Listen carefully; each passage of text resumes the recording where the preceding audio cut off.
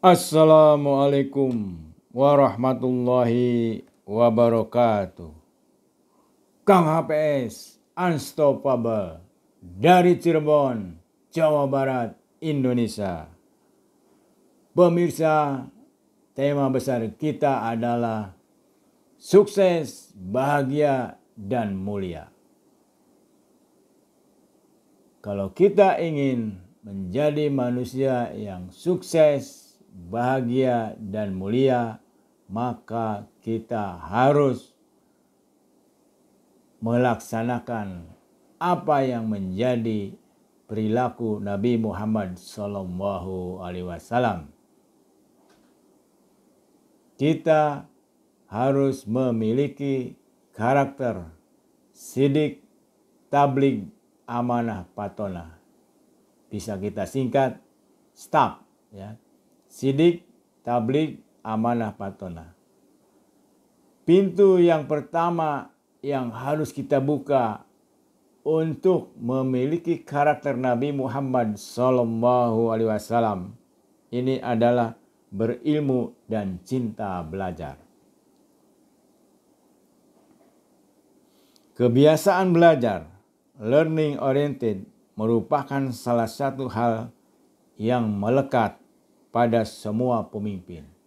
Bung Karno, di mana pun dia membaca, Pak Harto, ketika 5 sampai 10 tahun menjadi presiden, dia masih belajar sama para menterinya. Ya, 5 sampai 10 tahun mencatat apa yang disampaikan, mencatat sendiri, ya. Kemudian setelah 11 tahun ke sana, nah, menterinya yang mencatat. Kemudian Habibi, wah itu Habibi adalah pembaca yang luar biasa. Gus Dur sejak SMK di Jogja itu bukunya sudah karungan. Ya. Kemudian Amin Rais itu 16 jam membacanya ketika di Amerika. Sapi Ma'arif 13 jam ketika sekolah di Amerika. Semua pemimpin adalah pembelajar yang baik. Oleh karena itu, if you stop learning, you stop leading.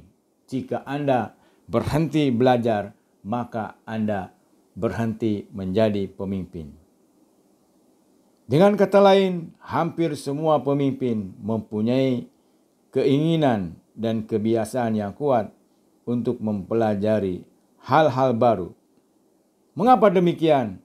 Karena mereka menyadari bahwa masih begitu banyak yang tidak mereka ketahui, sehingga mendorong mereka untuk terus belajar, meningkatkan pengetahuan, meningkatkan keahlian, meningkatkan kompetensi mereka.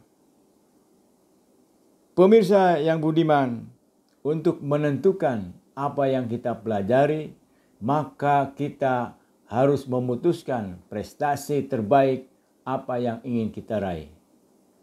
Prestasi terbaik akan kita capai apabila merupakan satu irisan. Ya, irisan apa? Pekerjaan yang kita pilih adalah sesuai dengan passion kita. Ketika kita sudah menemukan passion kita, maka kita memutuskan pekerjaan yang sesuai dengan passion kita.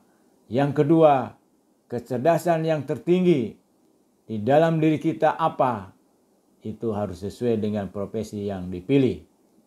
Dan yang ketiga adalah watak yang dimiliki oleh kita mendukung akan tercapainya prestasi yang terbaik. Ya. Jadi sekali lagi passion, kecerdasan yang tertinggi, kemudian watak itu harus menjadi pertimbangan untuk memutuskan pekerjaan apa yang kita pilih dan prestasi terbaik apa yang ingin kita raih. Ya, prestasi terbaik akan kita capai apabila menjadi irisan. Ya, irisan apa? Pekerjaan yang kita cintai, lalu kita kuasai dan lalu kita bisa menghasilkan dari pekerjaan itu tersebut. Sekali lagi, prestasi terbaik adalah irisan dari pekerjaan yang kita cintai, pekerjaan yang kita sukai, kemudian kita menguasai atas pekerjaan itu, teori dan praktik, dan pekerjaan itu menghasilkan uang untuk memenuhi kebutuhan hidup kita, untuk memenuhi kebutuhan keluarga kita, untuk memenuhi kebutuhan anak kita. Wassalamualaikum warahmatullahi wabarakatuh.